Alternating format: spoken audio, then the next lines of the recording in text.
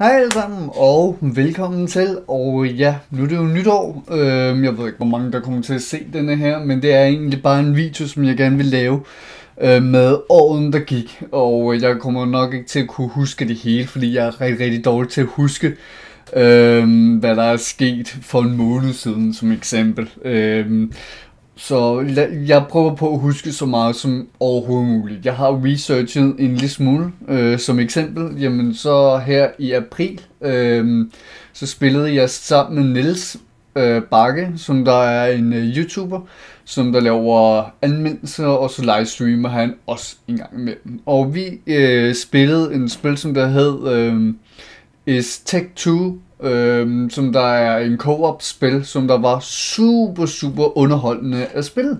Og øhm, vi fik aldrig genført det desværre. Øhm, også fordi det på daværende tidspunkt, så havde min computer det af helvede til.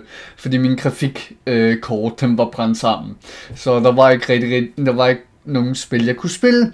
Og det gjorde så også, at jeg ikke kunne spille med folk. Øh, som eksempel Kevin Pedersen, som jeg også øh, spillede med i år, hvor det var, hvad var det, det var Dead Space 3, og det var også super, super hyggeligt. Det fik vi heller ikke genført, fordi det, min computer den simpelthen crashede øh, hele tiden, og det var så irriterende, så jeg spillede rigtig, rigtig meget Roblox i 2020, og så ind til 2021.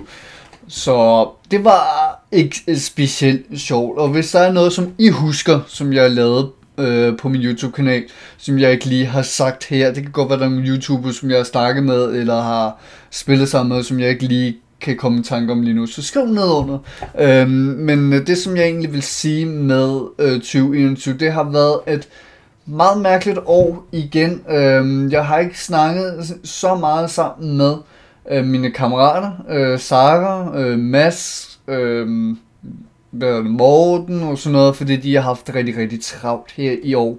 Jeg har snakket rigtig meget med Christian øh, Krille, øh, tre gange rød. Øh, han har nogle forskellige navne, men ham har jeg spillet øh, rigtig, rigtig meget med i 2021, som der har været rigtig, rigtig underholdende, rigtig, rigtig sjovt og hyggeligt. Øh, det, det har været sådan en stille, rolig år. Øhm, og så har jeg jo selvfølgelig også øh, flyttet øh, til en nyt lejlighed, som der er det her lige nu. Øhm, og her kommer jeg til at bo i lang tid, forhåbentlig, hvis der ikke kommer til at ændre en eller anden, som der var den store problem med øh, det her lejlighed. Fordi øh, i starten af året, så fik jeg at det at øh, fordi jeg boede i en botilbud, øh, hvor at, øh, jeg havde min lejlighed, og så havde, var der en ekstra lejlighed, hvor man kunne komme ind og få mad, og man kunne lave noget underholdning og sådan noget sammen med en personale. Den personale, øh, eller det øh, botilbud brugte jeg ikke, øh, og så sagde kommunen så, jamen fordi du ikke bruger det, jamen så skal du finde en anden lejlighed. Fair nok, det har jeg ingen problem med. Øhm, og så øhm, sagde de så, jamen vi skal nok finde en lejlighed til, I må også gerne søge efter det, øh, fordi det, det er sådan en 50-50 ting. Og så da vi kommer hen til, øhm, hvornår var det, nu kigger jeg lige, øh, det var i september august, august, september tror jeg nok, øh, hvor vi ikke forstod, hvorfor vi ikke hørte fra dem. Og så finder vi ud af, jamen øh, kommunen skyldes det ikke, og det var også 100%, og det, vi havde ikke nogen beviser for, at det, det var sandt. Øh, så vi gik i panik og sådan noget. Men så fandt vi så denne her lejlighed, og det er jo pragtfuldt, og det hjalp kommunen så også med til sidst, skal det siges. Øhm, så der, der har været en lille smule stress i år.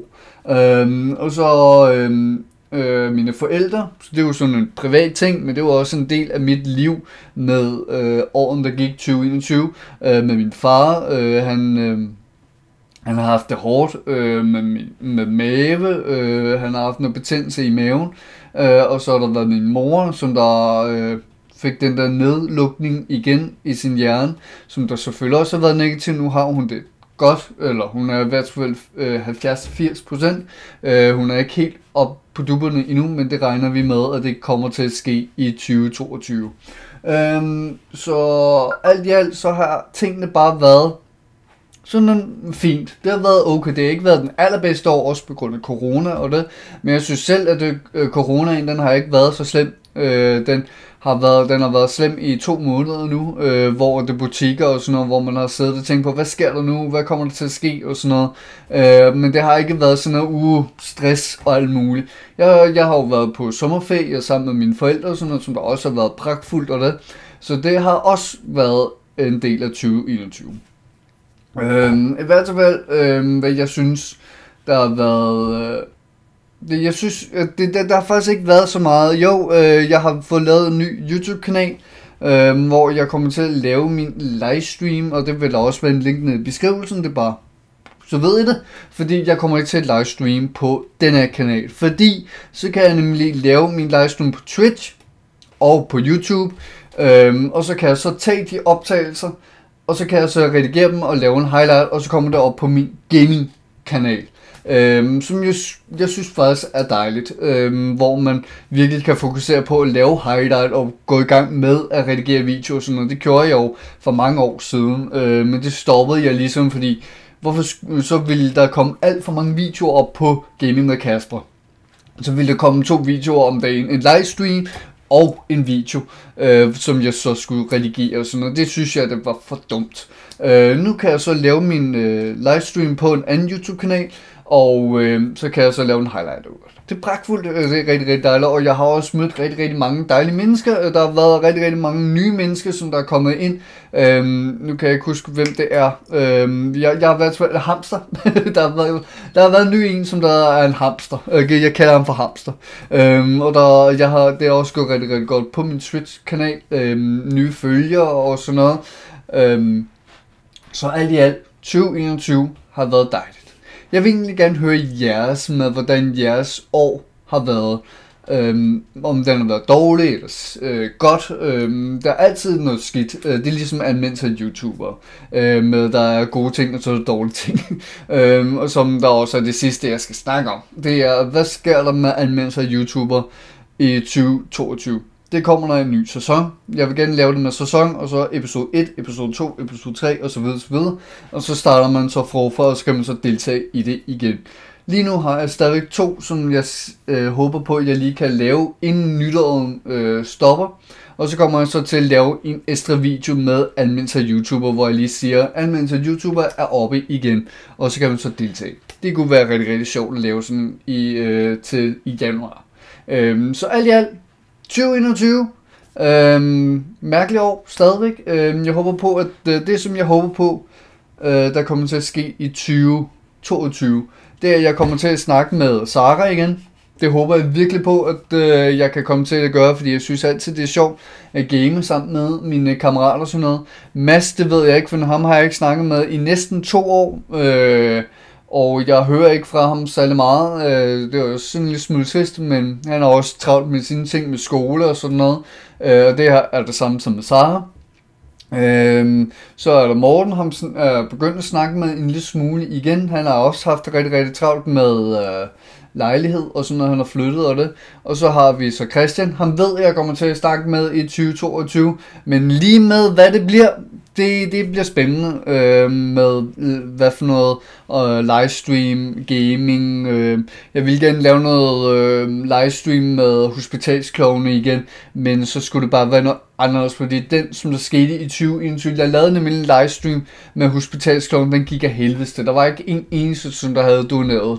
Øhm, og det var virkelig, virkelig trist og deprimeret over, selvom jeg havde lavet rigtig mange livestream og sådan noget, som der de, var dedikeret til det.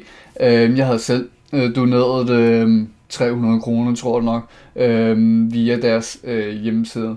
Så det var lidt trist. Jeg vil gerne øh, lave en ny livestream med det, men så skal det være noget helt, helt anderledes. Altså, så skal jeg lave en 12 timers livestream, eller noget. Jeg tror ikke, jeg kan klare en 24 timers livestream. Hvis jeg skulle gøre det, jamen så ville jeg lade min livestream stå øh, en time eller to timer øh, med en pauseskærm, whatever. Og så kunne jeg lige ligge og sove lidt, og så rejse mig, og så fortsætte øh, med en livestream. Øh, så det ved jeg ikke, hvordan det skulle blive.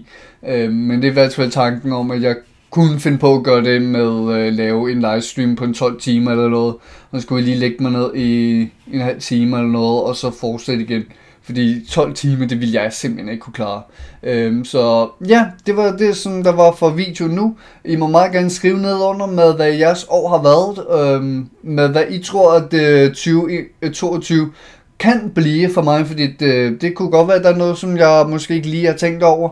Øhm, jeg har faktisk tænkt på, at jeg vil starte op med den friske familie igen, men øh, det har jeg sagt hver eneste år, og der er stadigvæk ikke sket noget, og jeg savner den friske familie. Øh, det kunne være sjovt at starte op med den, men ja, det ved jeg ikke. Øh, men I må i hvert fald have en pragtfuld, pragtfuld øh, aften, og have det sjovt, have det hyggeligt med jeres familie.